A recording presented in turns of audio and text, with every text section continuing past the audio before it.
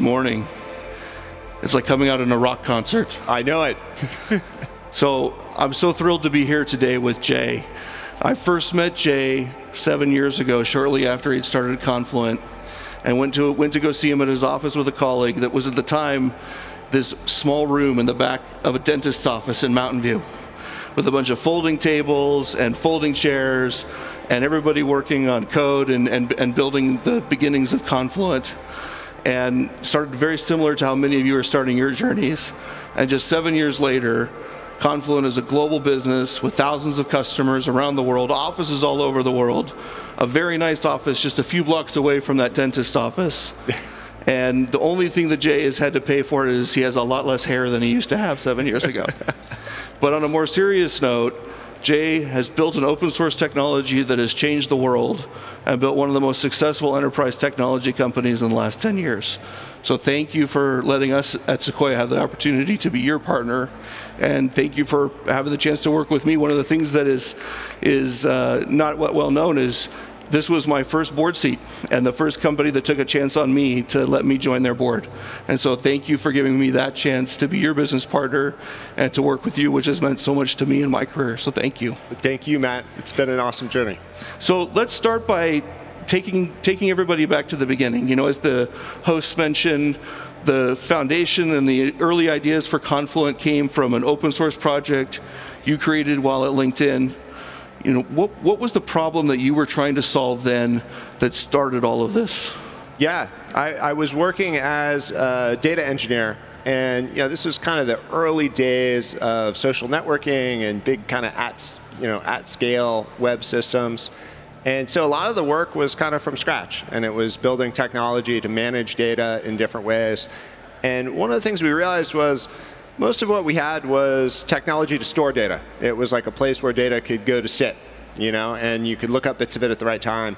But ultimately, you know, a big system like LinkedIn was all about how data flowed between and how we would trigger the right actions and do the right things at the right time. It was kind of a very dynamic, you know, living thing. And there wasn't really good infrastructure for that. And so, you know, it's, I guess whenever you approach a new problem, you kind of assume somebody has solved it and at first, you're just looking through what's there and expecting that you're just using it wrong or you don't yep. understand. Um, and then eventually you realize, no, like this, this hasn't really been solved in a good way and in the way that would be possible now. And you know that, that was the origin of the open source technology um, you know, what was really solving that problem. How do we get all the right data to all the right applications? How do we act on it in real time instead of, you know, putting it in some uh, Hadoop cluster and running some batch process at the end of the day? That, that was kind of what motivated us to do this. And, and you released this open source technology, and pretty soon this was the backbone of some of the most successful companies like Netflix and Spotify and Uber that were being created. What was it that gave you the, the the push to quit your job and go start Confluent, the company, after seeing the success of the open source out in the world? Yeah, well, it um, it wasn't quite like that overnight. Like the the initial open source, we thought was going to be a big deal, yeah. and we'd done other open source projects which were popular, but it was uh, initially released to resounding silence. um, nobody really understood what we were trying to do, yep. and yet we thought it could be like a really big deal. And so, you know, the, the first few years was really just trying to get people to understand the ideas around streaming and try and get that out there. And we felt like, hey, there's, there should be this huge opportunity for it. And it took us a while to really figure out how to explain it. And then as that happened, yeah, it started to get adoption in tech. And you know, nonetheless, we felt like, hey, if we're if we're really going to take this all the way, like there's no way we're going to be able to do that, you know, working from the basement of a social network, you know, there yep. needs to be some product uh, around it that'll make it easy to consume, and you know, some company that can really kind of invest in it and drive it. And you know, that that was the origin of Confluent. Um, you know, it was a little questionable at the time in some ways. Like there wasn't a lot of enthusiasm for open source companies at the time. There was a lot less enthusiasm for kind of the data infrastructure layer as as a place to build a company. But we felt like, hey, there there is a lot of value here, and there's something that could be you know very powerful for companies. Um, and that, that was what motivated us to kind of take the take the plunge as as it was. And um, you know, it, it, actually really was a you know really helped. I think just being fully focused on this and being out there in a way to meet with customers made us move so much faster in, in anything you know than we could have done just working in open source. Amazing. And you went through this transition where you were an engineer for your most of your career to being a CEO and founder. What was that transition like, and what was what was the things you needed to learn and navigate as you went from engineer to CEO? Yeah, yeah, it was uh, it was honestly pretty brutal to start out with.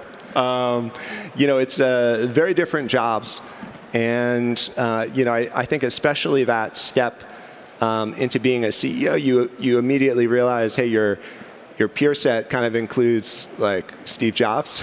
so I went from being, you know, at least I thought, a very good engineer where I had kind of built skills in each area. I could, you know, write good code and I could talk about it and I could design systems. And, you know, I went from that to being, you know, effectively the you know uh, a very inexperienced CEO of a three-person company, and it was uh, very hard, right? Because you're suddenly pitching an idea that it's hard to explain. Yep. Um, you know, a lot of what you're doing is now really more of sales. You know, yeah. you're, you're selling the company, you're selling the vision, you're you know trying to hire employees, you're trying to bring in customers, and you don't have much to go off of. You're in you know a small dentist office. Yep. your revenue is zero. Uh, your product is as yet unreleased. Uh, it turns out that your many friends who you assumed would immediately join are a little skeptical of the new company. Uh, and so, so yeah, it was uh, actually quite quite difficult, and you know, really a different skill set to learn. Um, yeah. And you know, I, I had I'd almost forgotten what that was like to be so bad at something. um, yep. But the good news is, I, I do think if you're going to take on a CEO role, I do think starting the company is the easiest way because logistically, a three person company is not that complicated. And no. so then you just kind of have to at least grow with the job as, as the business and the company you know, itself grows. And that's like a little bit more each day. Yeah. And, and that makes it, I think, you know, at least uh, approachable. Yeah, which, by the way, everybody, from a Sequoia perspective, is amazing. If you think about it as a human, to go from writing software to running an organization with thousands of people and thousands of customers, the the growth that you've had as a founder has been incredible as uh, and something that very few people can do. And it's something, yeah. it's something we, we look for in the founders we back is this mentality this outlier mentality. People that see the world a little differently. People that have a have a chip on their shoulder to go do something different and and will fight relentlessly to solve that problem and grow with these challenges of of transforming yourself to be able to lead a large organization and go after these problems as you have done look, having been through the founder journey, what are the key attributes that you think make uh, for a very strong founder? Yeah, I mean, it's a cliche, but I, I do think it's the dogged persistence of just kind of not giving up on things, um, you know, when they're difficult and, you know, kind of continuing on. And, uh, you know, I, I, I think that's probably more important than being, you know, smart or having particularly deep insights. All of that stuff helps, but I do think the main thing is just you know, kind of keep rowing and uh, you know see if see if you can get there. And I, I think that becomes you know increasingly important in any kind of more difficult time, where um, you know, which I, I, think every company has some of those. Yeah. And you know, without that, I, I think it's just hard to stick with it. Yeah. No. I, I mean, grit really is what it's all about. And in these many outliers also have like early beginning outlier stories, and you yourself have some of those going all the way back to when you were in high school. Like there were things about you that stood out, like dropped out of high school, as I understand. Like tell yeah, us a little bit yeah, more about your youth yeah, and like the journey, like the I, um, what what um, created Jay. Well, okay, I was I was a very idealistic uh, teenager, and I, I felt that it was just very inefficient in school. Um, that you didn't learn much each day, and I thought, okay, I could I could just teach myself everything I, I need to learn in school, and then I would have all the extra time to do something else, right?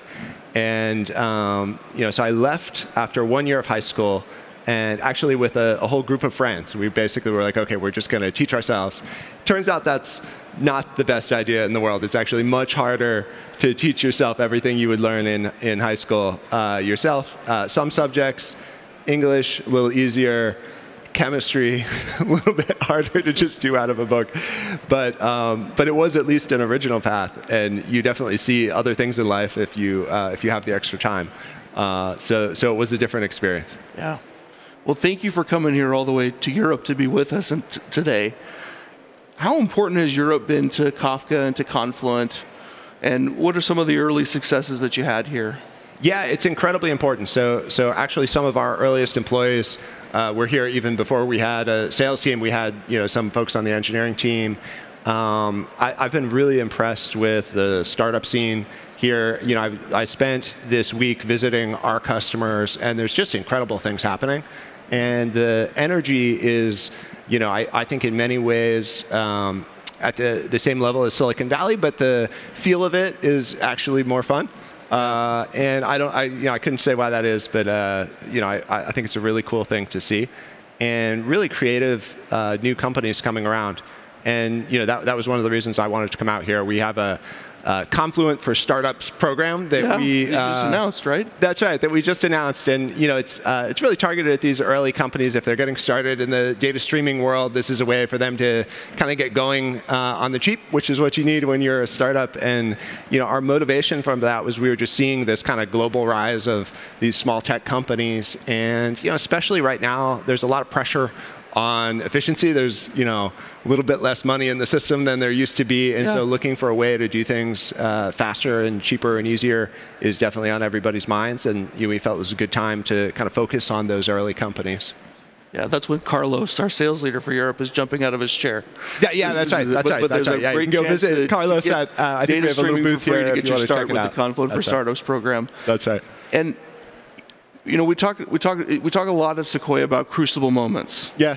And these moments in our journey when there's a really difficult decision to be made, when sacrifices need to be made, and they can be really arc bending for the whole company. And as I look back on the journey of Confluent, one of those crucible moments was the decision to shift to the cloud. Yeah. And it was a hard left shift that you, yeah. you yeah. took the company on to go to the cloud. And for everybody's uh, benefit, the business was just crushing it with this on-prem self-managed offering and jay took the whole company in a massive transformation to make cloud first. Tell us a little bit about that how you made that decision how you worked through that leading the company through this big change. You had different constituents like sales and engineering moving different yeah. directions trying to get everybody going to, to transform the company. Yeah it was you know the, the first piece of advice they give you in a startup is don't try and do a second product in an early company. And that yeah. turns out to be very good advice, uh, unless you really have to. And so for us, we knew early on we would have to, you know, operate in all the environments our customers had. That's just the way our technology works. It has to be there with your applications. And so we kind of debated if we wanted to do a software offering or a cloud offering, and there were pros and cons to both.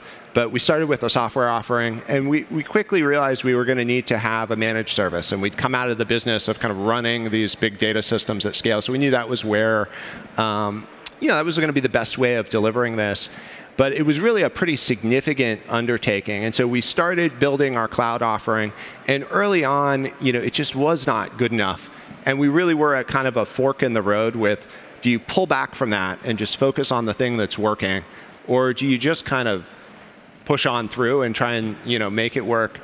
And you know, it was a very difficult one because we understood we were going to have a whole new set of competitors, you know, in the public cloud, including you know the cloud providers themselves that have services. So it was going to be a very difficult undertaking, and it was kind of a bet the company, you know, initiative to to focus everyone on it. Um, but I, I think that kind of thing ends up being very good for companies. You know, I think the best companies actually have some kind of difficult trials you have to go through. And this was definitely that for us, where it was, you know, first on the engineering side, you know, really bringing a global cloud service up to scale and, you know, the kind of operational uh, capabilities. Then on the go-to-market side, really rebuilding around kind of a more SaaS go-to-market. You know, each of these was these big transformations in a company that was, you know, quite young and immature in its own way, um, and a lot of pain to get that working well. Um, but but I think ultimately was very important for where we wanted to be.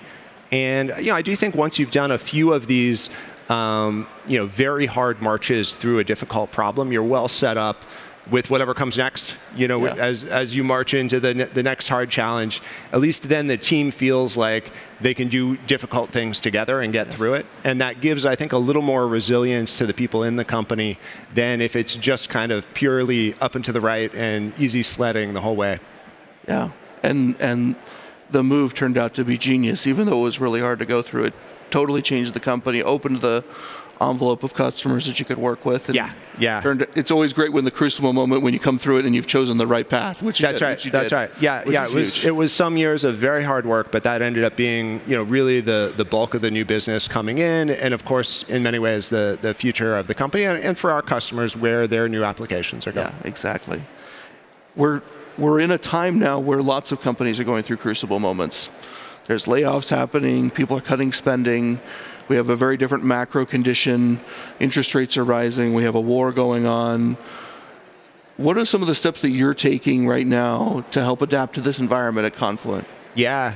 Yeah, I, I think the most important thing is just to realize the magnitude of the shift in the environment and what it means. The tendency, I think, is to always go off, you know, norms that were set in the past. And when there's some kind of very significant adjustment, you need to really look forward and think, okay, what is the talent market going to look like? What is going to be expected of me in the future with a set of expectations that actually doesn't look like the past? And so that, that was an interesting thing for us. We went through this, you know, as a public company, which, you know, is much, I think, much more painful than as a private company because, of course, you know, the whole market is shifting around you and your employees are watching the stock price day to day. And so, you know, it's, it's definitely a, a tricky one, but I, I think this is kind of coming you know, through the private markets as well. And so it's a sizable adjustment towards efficiency and profitability, I, th- I think, you know, at virtually every stage. And I think it is going to change how we build companies. You know, Yeah. we, we put effort into this internally. You know, we had always had, you know, kind of a pretty disciplined framework for growth and profitability. Uh, but even on that path, we, we you know, really looked hard at all the areas where we were investing and just tried to get very real about, you know, could this be done, you know, better, faster, cheaper? Is there a way to be more efficient in this area? And I think that was a very healthy thing for us. Um, it wasn't like we hadn't done that before, but that, that extra level of inspection um, really helped us. And I, I do think it, it gets you, um, you know, a license to be clear about what the priorities actually are and what really matters and what has to happen and where you have to invest and what can wait. You know, what, what are the things we can take on next year, which is probably something we should all be doing anyway in, Yeah. in running a company, but the, the environment really gives that extra push to do that well. And I think it's an incredibly important thing. Yeah, Doug, Doug was here on stage yesterday, and he was talking about how, you know, the playbook of the last 10 years is not going to work for the next decade. Yeah, yeah. And moments like this are actually very positive because they force us to think more, scrap, to be scrappier in our thinking, to think lean, to think efficiently. And the result is we build better companies and as Yeah. a result. And so it's actually never been a better time in that sense, in that the guide rails of this market environment will force you to build something that will be more enduring over the long long term. And so it's, it's exciting to see us doing those things at Confluent. Yeah, I totally Um, agree. one of the things that we both love, one of our shared passions, is poker. Yeah, And you, you know, just talking about leadership, you've often given lots of analogies around leadership to poker. And one of the quotes that you've you've shared is the goal for a poker player is to make good moves. Sometimes when you play well, you still actually lose the game because you just got bad cards. yeah. Tell us more. Yeah, yeah. This was something um, you know that struck me, especially early in my journey. I was you know coming out of a world of being an engineer, where in many ways, you know, it's a little bit more like chess. Like there's a right answer to most of the problems. If you think hard enough, you can come up with the best solution. Uh, a little more research and analysis is usually the right answer.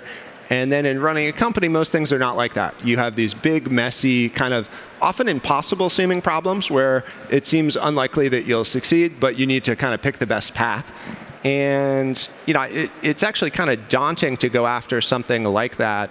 And one of the things I felt was, you know, what I need to do is concentrate on, you know, playing the game well. And that doesn't actually necessarily mean that the outcome will be good, but uh, that's the part I control. And that means, you know, the things I am doing day to day, if I do that well, and if I feel like I have a good trajectory, then that's, you know, that is the best I can do. And if that, um, you know, the, the hope is, of course, that will turn out spectacularly well.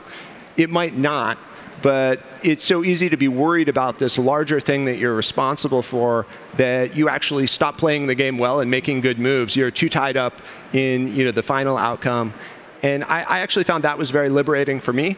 And that made me just focus on, okay, you know, the parts of my job, how do I do this better? How do I do it more effectively? The things we're doing day to day, how do we accelerate those? You know, and, you know, making sure that does line up to some good outcome, but knowing that in the end I can't really control much of that bigger outcome. I can't control what my competitors do. Yeah. I can't control what the larger market reaction will be to my product. You know, I can control just the things that we do and only so much of even that, right? And, and so that was interesting for me to be able to think about and kind of shift uh, into a mentality where that was my focus. And I thought it was ultimately helped me be just a lot happier in doing my job yeah. because you can let go of some of the things that are outside of your control.